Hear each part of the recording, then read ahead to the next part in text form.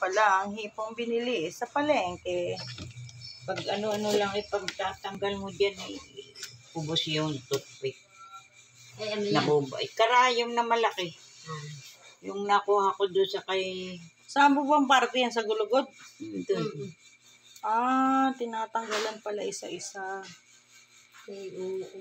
Ngayon ko lang ngayon Ah, naman pero sa nalaman. eh. alam mo, wari ko hindi na natatanggal. Ito lang, dito, pang sarili lang.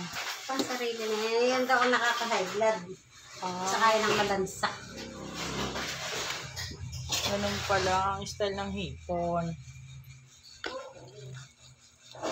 Dalawat kalahati yan. Kaya marami. Panalo! Panalo! Ayos kaya, yayo buma. Isa-isa pala yun. O yung ating pan, wala. Alin Pagkain. po? Ano? Ayan, mamaya ko yan. Nilagyan mo na ng spray? Hindi, pahugasan pa. ay. Ah, tama.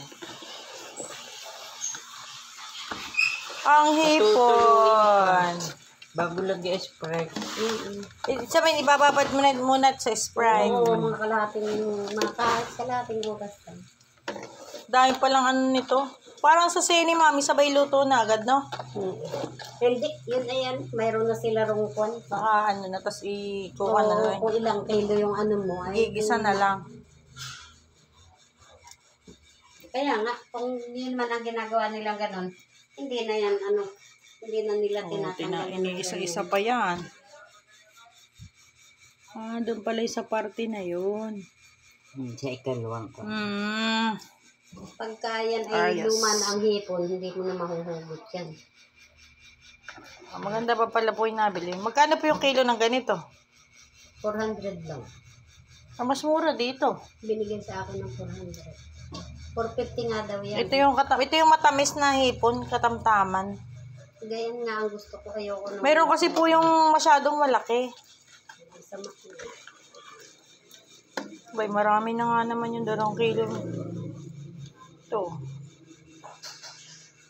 Ito pala yun. Dito pala sa parte na yan. Tinatanggal.